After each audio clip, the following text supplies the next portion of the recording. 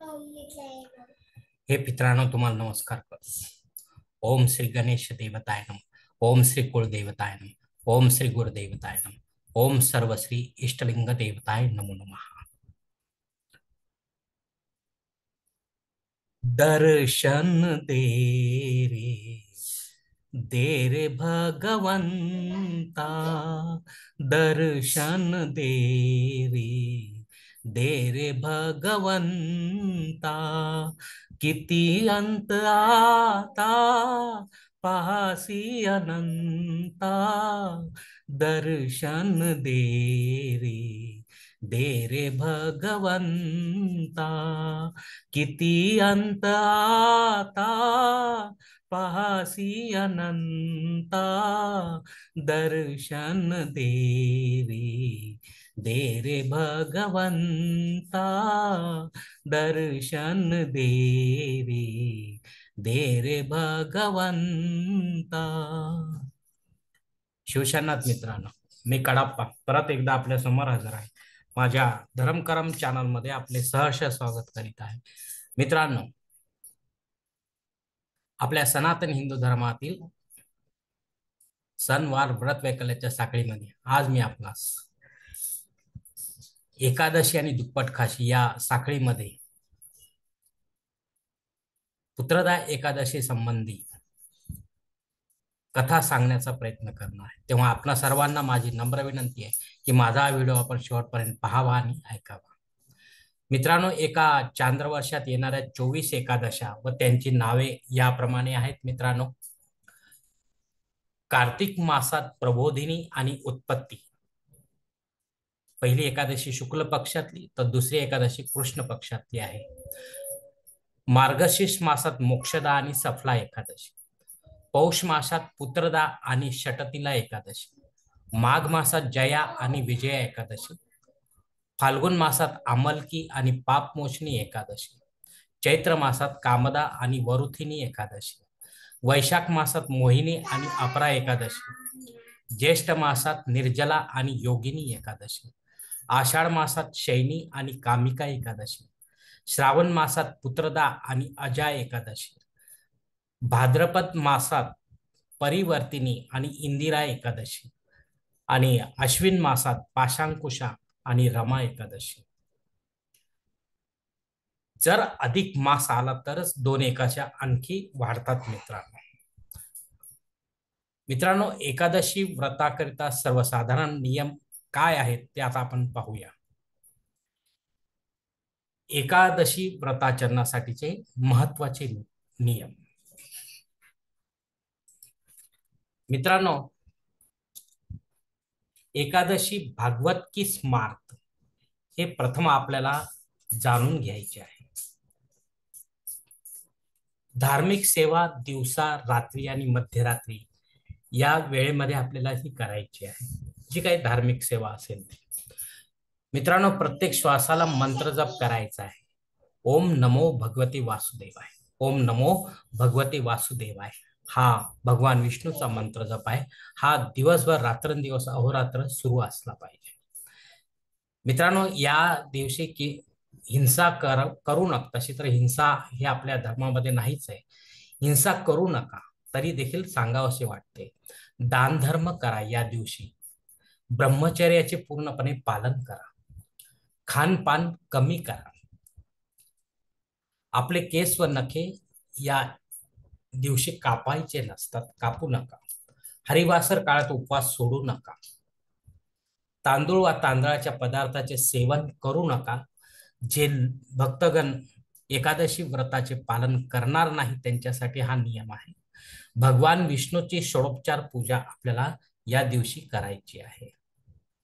मित्रांनो पुत्रदा एकादशी तिथी रविवारी रात्री सात वाजून तेरा मिनिटांपासून सुरू होत असून ते सोमवारी रात्री आठ वाजून चोवीस मिनिटांपर्यंत असणार आहे. या वेळेनंतर द्वादशी तिथीला सुरुवात होते. मंगळवारी सूर्योदयानंतर भगवंताच्या कृपेसाठी काही दान धर्म करून उपवास सोडायचा आहे मित्रांनो. मित्रांनो आता एका चांद्रवाशात येणाऱ्या चोवीस एकादशी मागच्या चोवीस स्वतंत्र धार्मिक कथा आहे. तर या कथा काय आहेत? नेमकी या पुत्रदा एकादशी ची व्रत कथा काय ते आता आपण पाहूया मित्रांनो. मित्रांनो महिष्मती नावाचे एक नगर होते.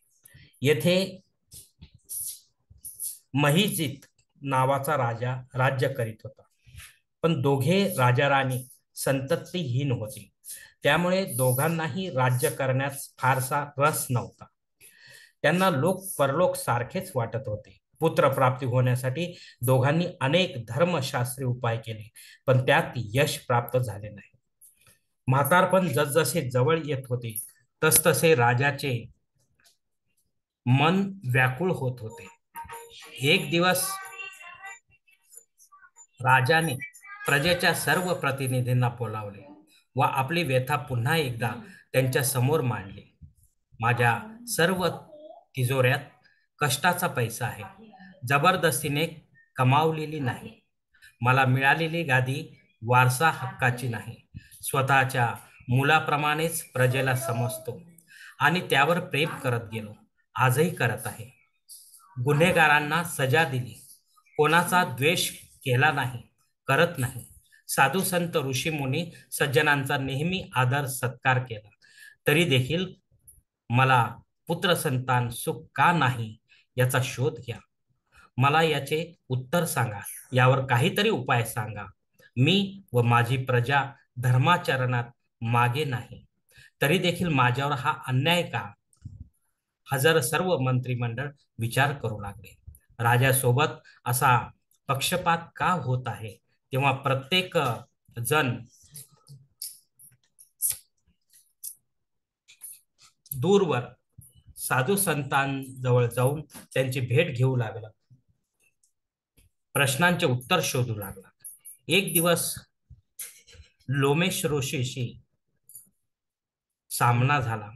राजाचे दुःख मंत्रिमंडळाने ऋषी समोर मांडले.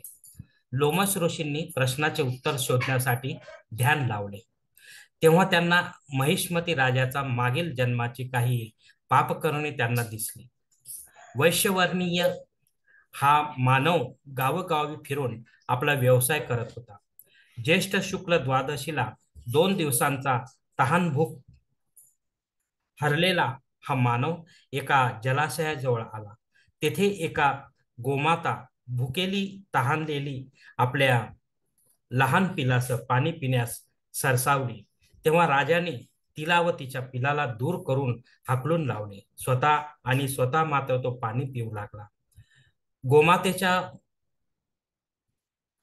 वाटेचे पाणी प्यायल्याने या जन्मी राजा पुत्रहीन झाला. व दुसरीकडे एकादशीचे व्रत याच कडून अज्ञातपणे घडल्याने त्याचे फळ म्हणून या जन्मी मानव हा हा जो मानव आहे तो राजा झाला. तेव्हा सर्व मंत्रिमंडळाला राजाच्या दुःखाचे खरे कारण समजले. सर्वांनी परत लोमश ऋषींना विनंती केली की मागील जन्मातील प्रायचित्त घेण्यासाठी या जन्मी काहीतरी उपाय सांगा. आम्हा प्रजाजनांना राजाचे हे दुःख पाहवत नाही आणि राजाला ते दुःख सहन होत नाही. राजाच्या हातून ज्ञात अज्ञातपणे घडलेल्या पापांचे शालन सांगा व पुत्र प्राप्ती होईल असा काहीतरी उपाय सांगा. लोमस ऋषी यावर विचार करू लागले. काही क्षणात त्यांनी एक उपाय सांगितला.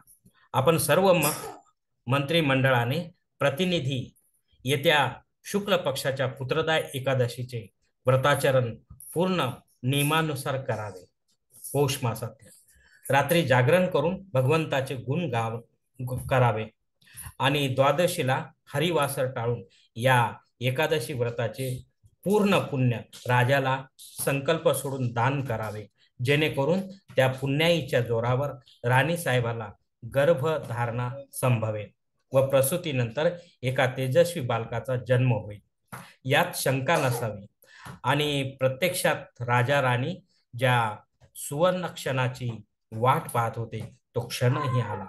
राजा राणीच्या पोटी एक सुंदर तेजस्वी राजपुत्र जन्माला आला. दोघांनी तसेच मंत्री मंडळ व प्रजेने या राजपुत्रावर स्वतःच्या मुलाप्रमाणे प्रेम केले वाढवले आणि एक दिवस राजाच्या गादीचा वारसदार हा पुत्र झाला राजकुमार झाला. या मृत्यूलोकात संतती सुखाचा आस्वाद घेऊन एक दिवस राजा राणी दोघेही स्वर्गलोकी रवाना झाले. अशा प्रकारे या पुत्रदा एकादशीच्या मागे धार्मिक सत्यकथा आहे मित्रांनो. मित्रांनो या कथेचा सार आपल्याला जर घ्यायचा असेल तर तो असा आहे की पुत्रदा एकादशी पुत्र संतान देणारी एकादशी असल्याने नियमात राहून या एकादशी व्रताचे पालन अवश्य करावे. असा भक्तांना हरिकृपेने पुत्र संतान झाल्याशिवाय राहणार नाही मित्रांनो. कारण आपणच असतो आपल्या जीवनाचे शिल्पकार. मित्रांनो भगवान श्रीकृष्णाने राजा युधि युधिष्ठिराला ही पूर्ण पुत्रदा एकादशी मागची कथा जी आहे ती सांगितली आणि त्याचा प्रचार प्रसार करण्यास सांगितले मित्रांनो. तेव्हा आपणा सर्वांना माझी नम्र विनंती आहे की नियमात राहून आपण ही एकादशी करायची आहे एकादशीचे व्रत करायचे आहे. आणि आपल्या नावे जे काही पुण्य जमा होणार आहे त्या पुण्याच्या जोरावर आपण सुखाचा उपभोग घ्यायचा आहे मित्र धन्यवाद मित्रांनो. आजचा हा पुत्रदा एकादशी व्रत कथा संबंधीचा व्हिडिओ मी याच ठिकाणी संपत आहे. आपण जर माझ्या मतात सहमत असाल तर कृपया माझे धर्म करम चॅनल सबस्क्राईब करा लाईक करा आपले कुटुंब मित्र परिवारासह शेअर करा. तसेच कॉमेंट्स बॉक्समध्ये आपले मत अवश्य नोंदवा. आणि माझा पुढील व्हिडिओ आपल्यापर्यंत पोहोचण्यासाठी बेल बटन अवश्य दाबा. धन्यवाद मित्रांनो. पुढील भेटीपर्यंत आपण खुश राहा आनंदी राहा प्रसन्न राहा. हरिओम शिवा. महादेव.